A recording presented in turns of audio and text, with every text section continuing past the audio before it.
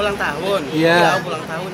Ulang tahun karena kan memang Ciwenda lahirannya di Singapura jadi eh, ya yang paling penting keluarga lah keluarga bisa datang. Kalau bikin di Jakarta kan karena Ciwenda juga babynya baru lahir nggak mungkin terbang langsung ke Jakarta. Jadi rencananya sih tadi cuma mau dinner doang bareng keluarga. Tapi untungnya teman-teman yang eh, memang dekat banget sama aku pada mau datang ke Singapura. Ya udah akhirnya sekalian lah kita bikin eh, makan malam bersama-sama. Tapi bukan party lah itu mah.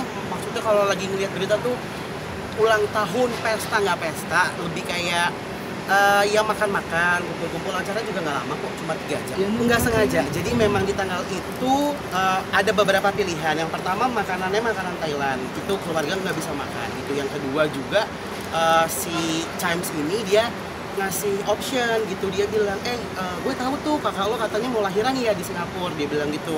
Gue gue jadi dia bikinin satu ruangan dia bangun khusus buat si Wenda tuh ganti popok terus dia menyusui. Jadi kan kayak apa ya kita sebagai orang yang mau ulang tahun tuh ih ini, ini gedung bagus ya gitu. Gue diperhatiin sama dia gitu. Terus yang ketiga juga kapasitasnya juga cukup buat 100 120 orang ya? 100 Gak tahu kalau budget pak. Ya segitulah pokoknya. Diperhatiin sama dia gitu.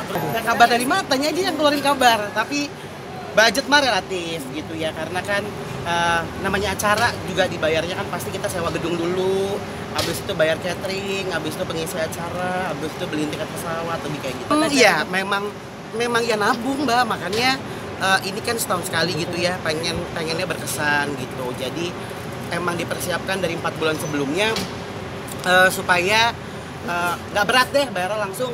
Jadi dari bulan April tuh bayar gedung dulu kayak orang kawinan juga sih ya kalau dipikir-pikir ya. Juga.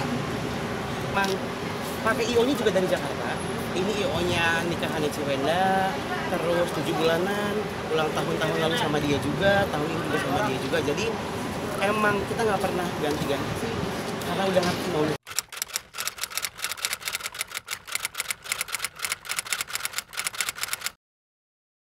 Jadi jangan lupa untuk subscribe Cumi Cumi. Ditekan ya tombol lonceng merahnya.